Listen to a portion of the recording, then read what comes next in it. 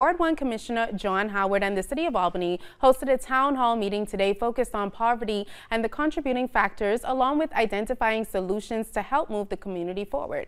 Nearly 30% of Albanians live below the poverty level and today residents learned the reasons why there is so much poverty in the city. In fact, Albany, Georgia ranks 158 out of 159 in child poverty. And according to officials, education is a major contributor to poverty in Albany lowest in child poverty at about 43%. So almost half of Dougherty County's children live in poverty in this community, which is a really, really sad number, but it's not unlike the other counties who are, are neighboring. It is, it's a regional issue, it is a state issue. To think about solutions for how we move forward. Um, we have so many agencies who are working in these areas.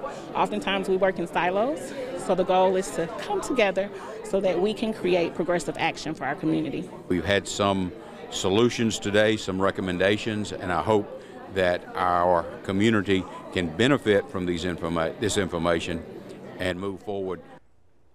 Well, coming up on WALB News 10 at 11, you're going to hear from some residents and their response to the data provided today and what they say the problems are here in the city and some solutions they came up with.